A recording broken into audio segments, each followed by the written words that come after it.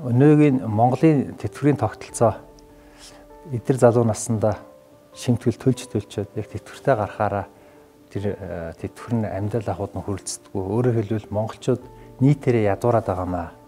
Тэгэхээр би бол актуарч буюу тэтгэврийн тооцоол гэдэг мэрэгжилтэй хүн. Яг энэ мэрэгжлээрээ Лондонгийн санхүүгийн төвд ажиллаж байсан. Маш олон дэлхийн санхүүгийн тэтгэврийн сангуудын тооцооллыг хийж үзэж байсан. Ийм хүний хувьд бол энэ байдлыг шинчлэх хэрэгтэй. Ингэж явж болохгүй гэдэг энэ шинчлийн хөдөлгөөн нэгдэж байгаа ба.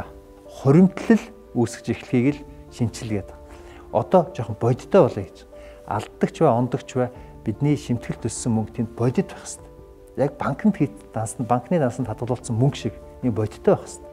Тэгэхгүй бичилт хийгээд хийсвэрээр ямар их өндөр том дүнтэй бичилт хийцэн. Тэрийг бид нар ямар сайхан гар утсан дээр нээж хараад тий. Таны нэр дээр 100 сая төгрөгийн бичилт байна гэсэн. Авыг ихлэр авч болдгоо. Яаж ч болдгоо. Тэрийг зөвхөн тэгээ хизээ хэрэглэх юм бэлээ тэтгэврт гарах үед таны тэтгэврийг ботход ашигладаг томьёо ордог нэг өгөгдөл. Үүнийг ийм бишээ. Одоо үнийг яг бодиттой болгоё гэж. Тэгэхээр энэ бодиттой болно гэдэг нь байна. Энэ мөнгө нь бодиттой буюу хоримтлал үүсэн. Үнийг л өөрө шинчлэл гэж ойлгож байна.